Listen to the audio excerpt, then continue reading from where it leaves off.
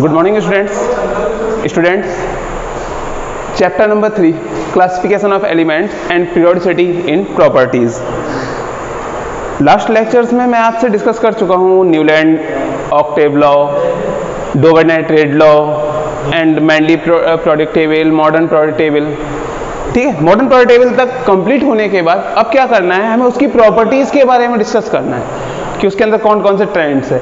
Like as ninth class में आप लोगों ने पढ़ा होगा atomic radii ionic radii valency charge etcetera etcetera तो उस चीज़ को फोकस करना है। तो फ़र्स्ट टॉपिक क्या है? एटॉमिक रेडियाई ठीक है। अब एटॉमिक रेडियाई क्या है? इसके रिगार्डिंग डिस्कस कर लेते हैं। आपको सबसे पहले समझना होगा एटम एटम का आप लोगों को याद होगा, इस तरह कुछ स्ट्रक्चर होता है ना। तो अगर ये एटम है तो ये आपका न्यूक्लियस, ये आउटर मोस्ट सेल और ये आपके न्यूक्लियाई ओके सो रेडियाई की बात हो हुई रेडियाई से आप समझ में आता है सेंटर से डिस्टेंस डिस्टेंस सीधी मीनिंग है, ठीक है? तो atomic radii what is atomic radii the distance the distance between nuclei of atom and outermost shell of atom किसी भी एटम के न्यूक्लियस से outermost shell outermost shell की डिस्टेंस जो होगी बेटा, उसे क्या कहेंगे आप? एटॉमिक रेडियाई ध्यान रखिएगा, ठीक है? किसी भी एटम के न्यूक्लियाई से, ठीक है? न्यूक्लियाई से आउटर मोस्ट सेल की जो डिस्टेंस होगी, उसको क्या कहेंगे आप? Atomic radii okay atomic radii complete होने के बाद, अब डिस्कस कर लेते हैं atomic radii atomic atomic radii कौन कौन सी है? Like as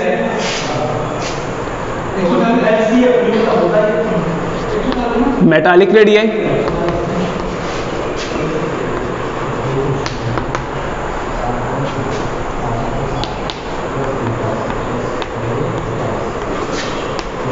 covalent radii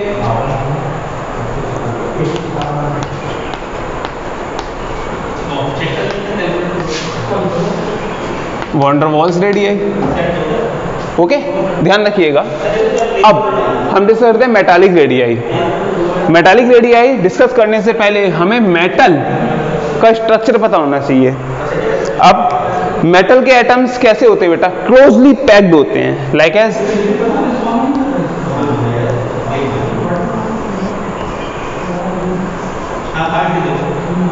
बेटा इस तरह से कुछ मेटल्स का स्ट्रक्चर होता है ना मेटल्स के पार्टिकल इस तरह से अटैच होते हैं। सो so, जब मेटल्स के पार्टिकल इस तरह अटैच होते हैं तो हमें एक एटम की रेडियाई कंफर्म करनी है। तो उसको कंफर्म करने के लिए हम क्या करते हैं कि एक पेड़ उठा लेते हैं। मेटालिक रेडियाई में किसी एटम का रेडियाई कंफर्म करने के लिए हम क्या करेंगे? दो एटम्स के पेड़ को उठा लेते हैं। अब क्या करते हैं? जब ये टू एटम्स आ गए हैं तो अब क्या करेंगे कि one half one half distance between both of nuclear okay समझ में आ गया? कि इन दोनों एटम्स के न्यूक्लियाई की डिस्टेंस का जो हाफ़ होगा, वो क्या होगा? इस एटम की क्या होगी? Metallic radii same as covalent radii अब कोवेलेंट रेडियाई कैसा होता है? कोवेलेंट में क्या होता है? इलेक्ट्रॉन्स की शेयरिंग होती है. शेयरिंग मींस उनका स्ट्रक्चर कैसा होता है? कुछ इस टाइप में। मेटालिक रेडियाई का स्ट्रक्चर कुछ इस टाइप का होगा, जिसमें क्या होता है? ये पार्ट जो आपका बताता है कि उनके बीच क्या हो इलेक्ट्रॉन्स की शेयरिंग हुई है। सो कोवेलेंट रेडियाई के लिए क्या है? कि दोनों एटम्स की है, दोनों एटम्स के न्यूक्लियाई की, बीच की डिस्टेंस का हाफ़ दोनों एटम्स की न्यूक्लियाई की, बीच की डिस्टेंस का हाफ़ जो आपका क्या होगा? कोवेलेंट रेडियाई ओके नेक्स्ट हम वॉन्डरवॉल्स अब वॉन्डरवॉल जो है, हमें याद होगा टेंथ क्लास में शायद आपने पढ़ा फिजिक्स में कि एक अट्रैक्शन फोर्स है। केमिस्ट्री के टर्म में इंटरेक्शन फोर्स बोलते हैं। ओके इंटरेक्शन फोर्स इसमें क्या है? कि कोई भी एटम एक दूसरे से क्या होता है? बस एक किसी फोर्स के थ्रू या अट्रैक्शन फोर्स के थ्रू अटैच होते हैं। ठीक है? सो so, उसमें क्या है? जब टू एटम्स किसी इंटरेक्शन फोर्स के थ्रू अटैच हैं किसी भी इंटरेक्शन फोर्स के थ्रू अटैच हैं तो उन एटम्स के बीच की डिस्टेंस का हाफ़ उन दोनों एटम्स की बीच की डिस्टेंस का यानी कि सेंटर के बीच की डिस्टेंस का जो हाफ़ होगा वो क्या होगा? वॉन्डरवॉल रेडियाई आपका। ओके मे भी आप लोग इस टॉपिक को समझ गए होंगे। एटॉमिक रेडियाई क्या है? एट किसी भी एटम में सेंटर से आउटर मोस्ट सेल की डिस्टेंस जो होगी, वो आपकी क्या होगी? एटॉमिक रेडियाई एटॉमिक रेडियाई के जो टाइप्स हैं metallic covalent and van der Waals metallic radii में क्या है? उसके क्लोजली पैक्ड होने की वजह से टू एटम्स को कंसिडर करते हैं। टू एटम्स में क्या है? सेंटर के बीच की डिस्टेंस का जो हाफ़ होगा, वो आपका metallic radii covalent radii too उसमें क्या होता है? इलेक्ट्रॉन्स की शेयरिंग की वजह से काफ़ी हद तक पार्ट एक दूसरे से शेयर्ड हो जाता है। इट मींस उस, उन, उस टाइम पर कोवेलेंट रेडियाई में क्या होता है कि दोनों एटम्स के सेंटर्स की डिस्टेंस का हाफ़ जो आपका होगा, वो क्या होगा? Covalent radii van der Waals क्या इंटरेक्शन फोर्स या अट्रैक्शन फोर्स है? इसमें क्या होता है? टू जो दो एटम्स एक दूसरे closely attraction force through bonded है, उसमें क्या है कि सेंटर्स के बीच के डिस्टेंस का जो हाफ़ होगा, वो आपका क्या हो जाएगा? Van der Waals radii okay okay atomic radii complete होने के बाद हमें नेक्स्ट टॉपिक है. सॉरी अब हमें क्या करना है? पीरियोडिक टेबल में वेरिएशन ये किस तरह से रिप्रेजेंट करता है, वो देखना है.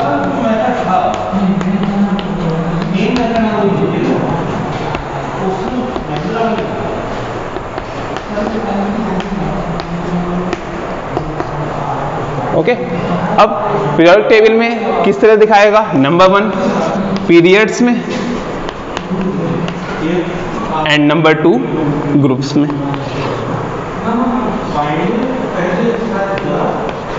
अब पीरियड्स में क्या होगा देखो? अगर समझा जाए तो like as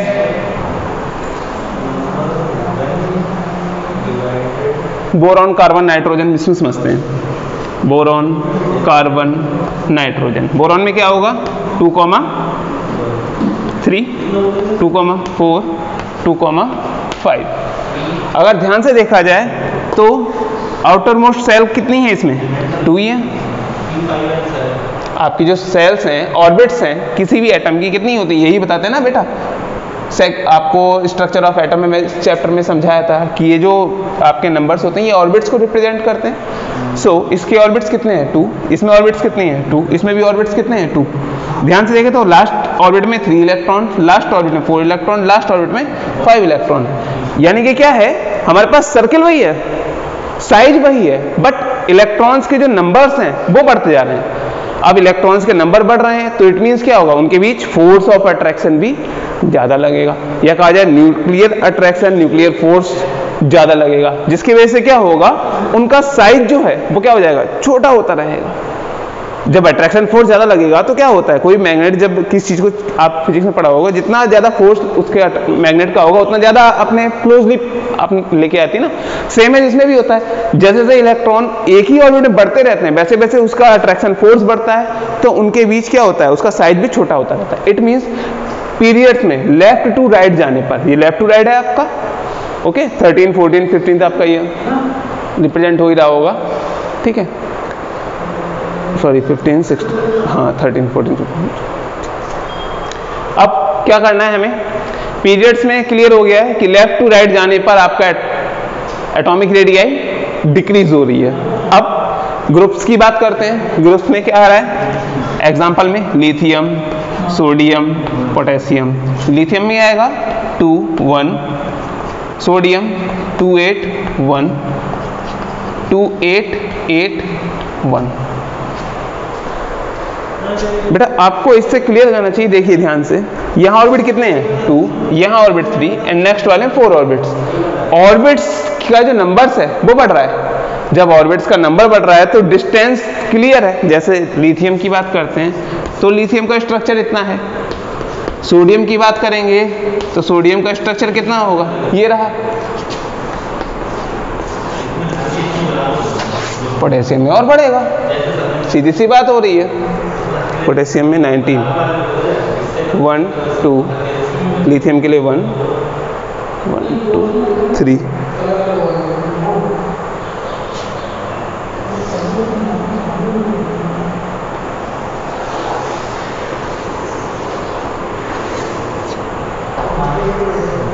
Two orbits lithium के लिए टू एंड वन ओके ठीक? है तो ध्यान रखिएगा, हमने अभी आपसे क्या कहा था? जितना डिस्टेंस क्लोज होगा, उतना क्या होगा? रेडियाई कम होगी और जितनी डिस्टेंस ज़्यादा होगी, उतनी रेडियाई बड़ी होगी। इसमें क्लियर समझ में आ रहा है? यहाँ डिस्टेंस कितनी है आपके पास? टू ऑर्बिट्स है।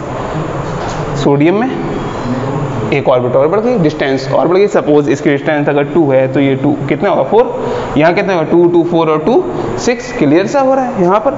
सीधी बात two two four two six and two eight ठीक है? तो ध्यान रखिएगा कि ग्रुप्स में टॉप टू बॉटम ग्रुप्स में टॉप टू बॉटम जाने पर आपकी एटॉमिक रेडियाई इंक्रीज होती है। Okay thank you class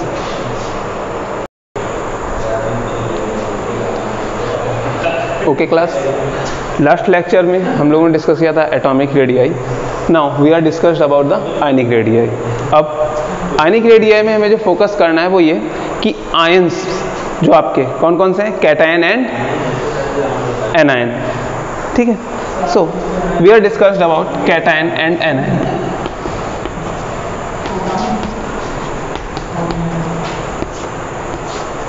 ठीक है? अब आयनिक रेडियाई क्या है? आयंस के बीच की डिस्टेंस का हाफ़ लाइक एज NaCl इसको जब ब्रेक करते हैं तो आपको क्या मिलता है? Na positive plus Cl negative अगर इनके न्यूक्लियस को ड्रॉ किया जाए,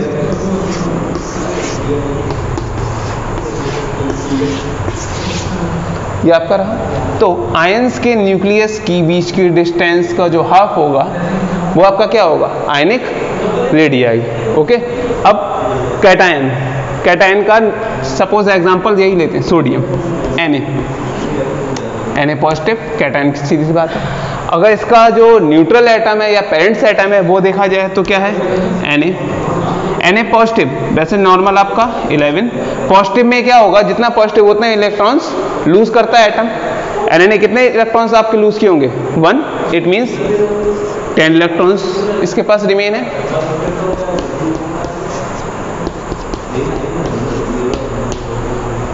टू एट वन अगर आपने लास्ट लेक्चर देखा है तो आप लोग इस कॉन्फ़िगरेशन समझ गए होंगे किसका साइज़ बड़ा होगा और किसका साइज़ छोटा होगा। अब यहाँ कितने ऑर्बिट्स हैं? टू यहाँ कितने ऑर्बिट्स हैं आपके पास? थ्री तो ऑर्बिट्स बढ़ने पर क्या होती है? डिस्टेंस आपकी बढ़ जाती है। जब डिस्टेंस बढ़ रही है तो क्लियर सी बात है आपका कि इसमें क्या होगा? साइज़ इसका ड्रॉ करते हैं suppose two and eight suppose यहाँ डिस्टेंस टू एंड टू कितना हो जाएगा बेटा? फोर रेडियाई कितनी है? Four suppose sodium atom okay okay sodium atom का अगर हम ड्रॉ करते हैं तो देखते हैं।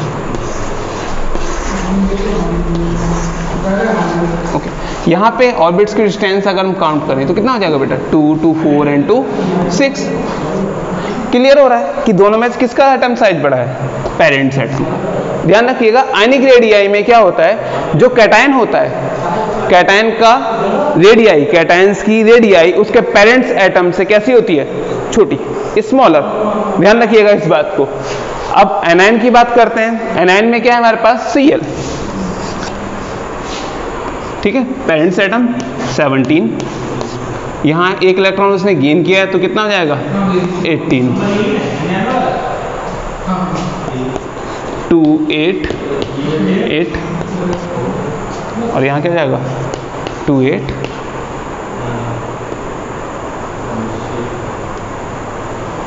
seven okay so orbit same ठीक है? अब यहाँ क्लियर हो रहा है, किसका एटम साइज़ बड़ा होगा? क्लोरीन का। ठीक है? ध्यान रखिएगा इस चीज़ को कि आप जब इलेक्ट्रॉन्स की कॉन्फ़िगरेशन करते हैं तो आप ऑर्बिट्स की काउंटिंग और उसमें प्रेजेंट इलेक्ट्रॉन्स को ज़रूर चेक कीजिएगा। लाइक एज ये कैटायन है तो टू एट और ये टू एट वन यहाँ पे टू ऑर्बिट्स यहाँ पर आपका थ्री ऑर्बिट्स ध्यान रखिएगा ऑर्बिट्स को आप ज़रूर चेक कीजिए। ओके आनिक रेडी है कंप्लीट होने के बाद next topic next topic valency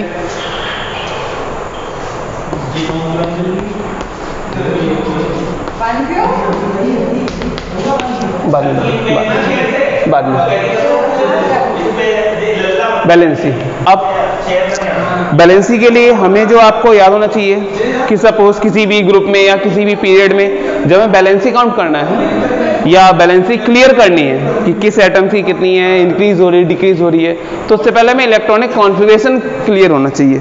like as check करते हैं boron and carbon five six one s two two s two two p one one s two two s two two p two it means two comma three and two comma four okay? Valency क्या होता है बेटा आपका? अगर आपके outermost shell में outermost shell में four से ऊपर है तो एट से माइनस करते हैं। ये आपको नाइन्थ क्लास में क्लियर किया था टेंथ में भी आपको क्लियर किया था। और अगर फोर है या फोर से नीचे है तो उसे हम टच नहीं करते। हैं यहाँ कितना है बेटा? फोर तो हमें इसे बिल्कुल भी टच नहीं करना है। यहाँ थ्री है तो हमें इसे भी बिल्कुल टच नहीं करना है। तो इट मीन्स ये क्या है? यही इसकी बैलेंसी को रिप्रेजेंट करते हैं। Three valency and four valency अब ध्यान से देखा जाए तो ये आपका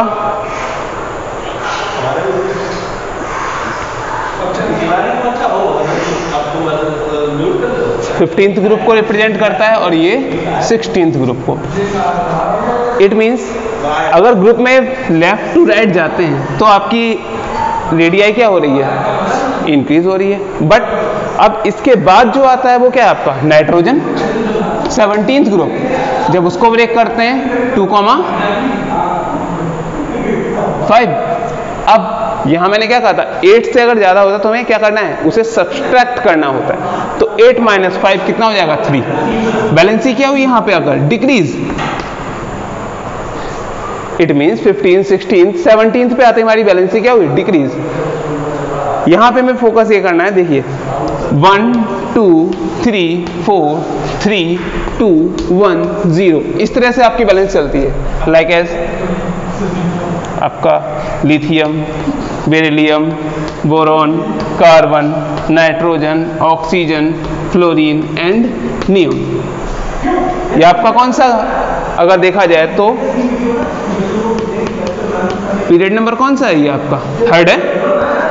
तो थर्ड पीरियड में ही हम क्लियर कर लेते हैं, देखिए, कि पीरियड में लेफ़्ट टू राइट जाने पर क्या हो रहा है? ग्रेजुअल इंक्रीज हो रहा है।